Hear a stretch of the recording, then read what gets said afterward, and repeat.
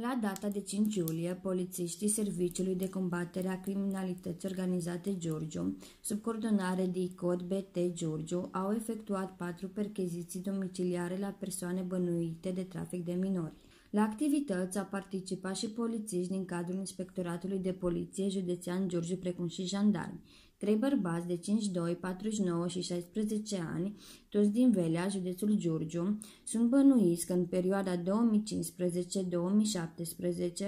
ar fi racolat două minore de 17 și 13 ani, pe care le-ar fi cazat și exploatat sexual prin obligarea la practicarea prostituției, folosind acte de violență și amenințare. Minorele ar fi fost obligate să întrețină relații sexuale cu mai mulți clienți, banii sau bunurile rezultate în urma practicării prostituției fiind însușite de către aceștia.